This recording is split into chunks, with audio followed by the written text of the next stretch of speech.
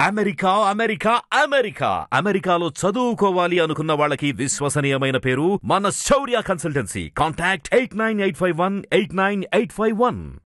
ఒక Nigerian chef వంద గంటల పాటు నాన్ స్టాప్గా వంట చేసి సరికొత్త గిన్నీస్ వరల్డ్ రికార్డును బదులుకొట్టింది. హిల్డా బాసి గురువారం మొదలుపెట్టిన వంటను అలా సోమవారం రాత్రి వరకు కొనసాగించింది ఆ మహిళ. గతంలో రెండు వేల పంతొమ్మిదిలో భారతీయ చెఫ్ లతా టొన్నల్ ఎనభై ఏడు గంటల నలభై ఐదు నిమిషాల పాటు వంట చేసి గిన్నీస్ వరల్డ్ రికార్డును నెలకొల్పింది. ఆ రికార్డును హిల్డా తాజాగా బద్దలు కొట్టింది వాణిజ్య నగరమైన లాగోస్లోని లెక్కీ ప్రాంతంలో హిల్డా బాసి ఈ సాహసానికి తెరలేపింది. వంద గంటల పాటు ఈ చెఫ్ నైజీరియాకు చెందిన ప్రత్యేక వంటకాలను వండింది. సూప్లు టొమాటో రైస్తో పాటు పలు రకాల డిష్లను తయారు చేసింది. వంద గంటల పాటు వంట చేయడం అంటే మామూలు విషయం కాదు.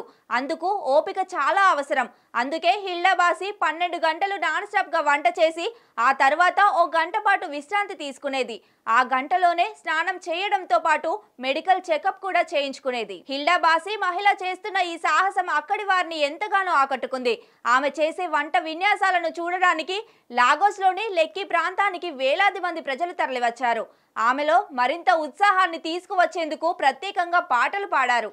హిల్డా చేస్తున్న ఈ వంటకాల సాహసాన్ని ఆన్లైన్లో లైవ్లో ప్రచారం చేశారు. సంబంధిత ఆధారాలను పరిశీలించాక అధికారికంగా హిల్డా బాసి రికార్డును ప్రకటిస్తామని గిన్నీస్ వరల్డ్ రికార్డు సంస్థ తెలిపింది. ఈ చెఫ్ వంద గంటల పాటు వంట చేసి గిన్నీస్ రికార్డు నెలకొల్పగానే నైజీరియా అధ్యక్షుడు సైతం ట్విట్టర్ వేదికగా ఆమెను అభినందించారు.